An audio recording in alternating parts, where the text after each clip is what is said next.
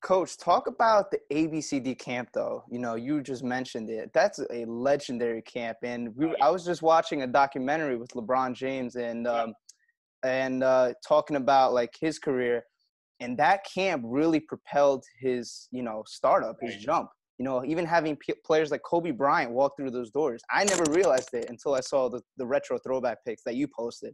You know, what did you know from uh, about that? Well, it's funny. The the first ABCD camp was really at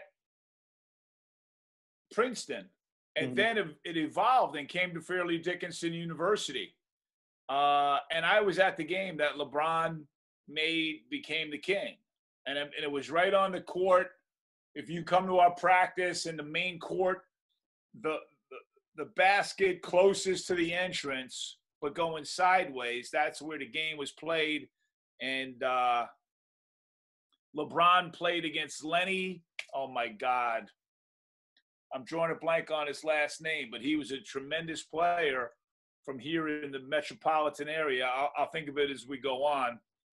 Um, and everybody was in the building. I mean, every person from uh, New York City, the media, national media, every college coach that every everyone wanted LeBron at that time. They knew about him, but um, they were down a point and it was under 30 seconds, and then LeBron just started rocking the ball at the top of the key, took him off the bounce, stepped back, and made the shot that that made LeBron like that night it was made and it was made right in, in, in, the rothman center at fairleigh dickinson so that's where all the players came through you know and prior to that it was five star basketball camp Mm. which was run by howard garfinkel and will klein and i, I played at that i was on uh, dominique wilkins' team in camp and uh, so man basketball is just a part of my history and it's and, and it's incredible how i come back